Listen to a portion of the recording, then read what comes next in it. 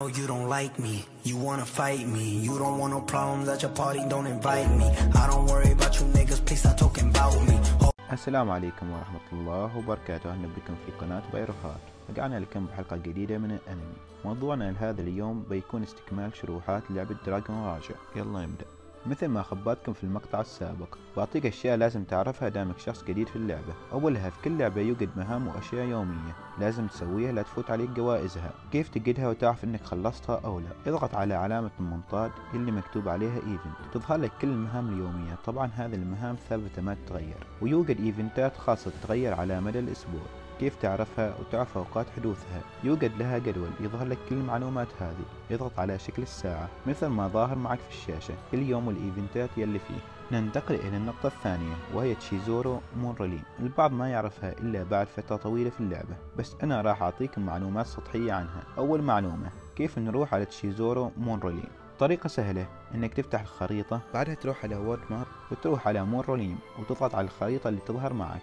ثاني معلومة يوجد ثلاث أنواع من الحجار وهم البنفسجي والأحمر والأبيض. طبعا أفضلهم الأبيض ثم الأحمر والأخير بنفسجي ثالث معلومة متى تتجدد الأحجار عشان تأخذ الحجر الأبيض؟ يوجد ثلاث أوقات تتجدد فيها وهم الدقيقة الصفر والدقيقة الثامنة والدقيقة السابعة عشر. رابع معلومة كم يستمر وقت مون روليم وكم حجم مسموح لك أن تأخذ؟ يستمر 30 دقيقة فقط ومسموح لك 6 أحجار كل يوم. خامس معلومة. أوقات ظهور مورلين لا يوجد وقت معين. تظهر بشكل عشوائي. بعد الساعة واحدة مساء بتوقيت اللعبة.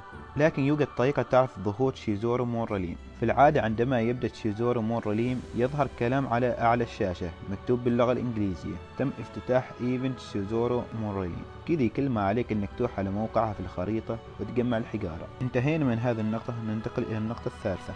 وهي الأكواد. ما بذكرها في هذا المقطع لكن بعلمكم كيف تحطون الكود تروح على setting بعدها تنزل آخر شيء بتحصل كلمة CD key اضغط عليها بعدها حط الكود بخصوص الأكواد بخصص لهم مقطع القادم.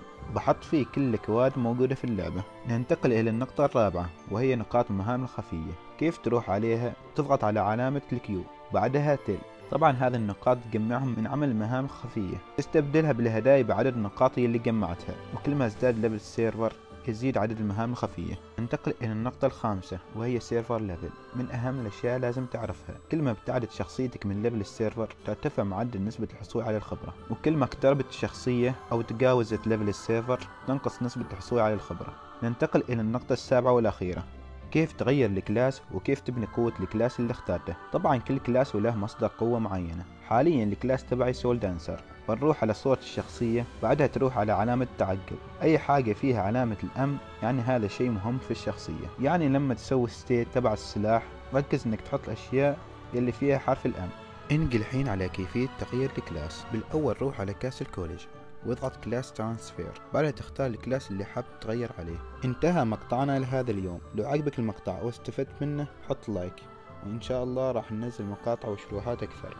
نشوفكم في حلقة ثانية إلى اللقاء.